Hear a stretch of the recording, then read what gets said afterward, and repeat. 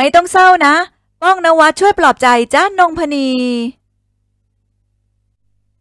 ทางด้านจ้านงพนีนั้นบอกเลยว่าตั้งแต่ที่โสด ชุดขึ้นคอนเสิร์ตก็ไม่เหมือนเดิม เพราะว่าแซบขั้นสุด โดยเฉพาะชุดสีขาวที่มีมือจับที่หน้าอก ส่วนท่อนล่างก็ออกแบบสุดเก๋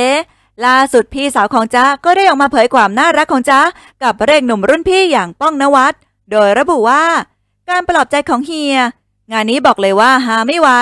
เพราะว่าทันทีที่จ้านั่งลง ปองก็รีบหยิบกระดาษทิชชู่มาซับไปที่ใบหน้าของจ้าพร้อมทั้งพูดขึ้นมาว่า อย่าเศร้านะ อย่าเศร้านะ จากนั้นจ้าก็พูดขึ้นมาว่า ซับน้ำตา เป็นการปลอบใจที่ดูเหมือนแกล้งมากๆเลย จากนั้นจ้าก็พูดขึ้นมาว่า ไม่เคยมีคำว่าหนูสู้ๆนะลูก หนูสู้ๆนะ ซ้ำตลอด